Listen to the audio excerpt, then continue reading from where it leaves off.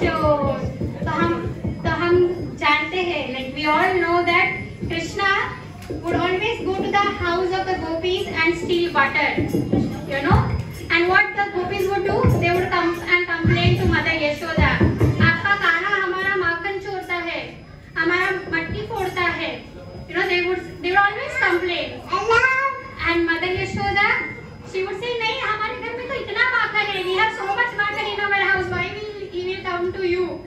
And then one day what happened we know about the Damodar Leela. Right? he breaks the pot he calls all his friends and he is distributing makhan to everybody. And mother Yashoda slowly comes from behind. And she catches hold of Krishna and then she is running around you know catching Krishna. So we are going to sing this song. So the lyrics are here. So please encourage children. If they forget you please sing for Chora